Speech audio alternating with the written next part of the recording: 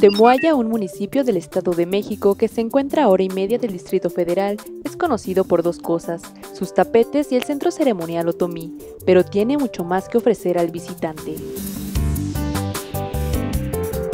Comenzamos el recorrido en el barrio de San Pedro Abajo, donde se encuentra la Sociedad Cooperativa de Artesanos Productores de Tapetes Anudados a Mano, que funciona como tal desde 1998. Aquí las mujeres otomíes elaboran los famosos tapetes de temuaya, sentadas frente a una escuadra rectangular hecha con palos de madera, a la cual se sujeta el urdimbre o hilos de algodón, donde van anudando la lana. Las imágenes que se plasman en cada pieza son símbolos otomíes, mazaguas, huicholes, entre otros diseños, con temas religiosos, mitológicos o de animales.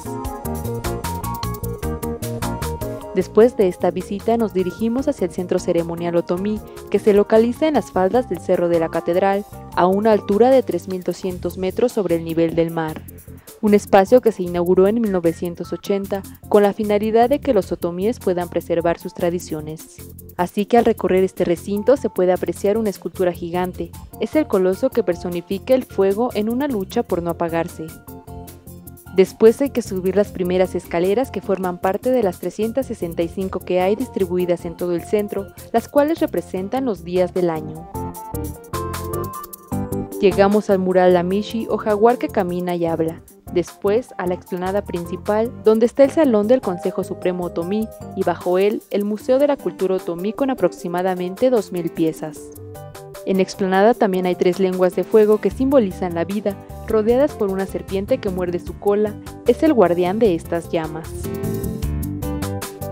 De frente a la explanada están 12 conos, que significan los 12 meses del año, y la piedra que justamente queda en medio de ellos es conocida como el Nuevo Sol. Después hay que visitar la finca La Venturosa, donde se cultivan setas, las cuales son la especialidad de su restaurante. Aquí se pueden probar todo tipo de platillos preparados con este hongo.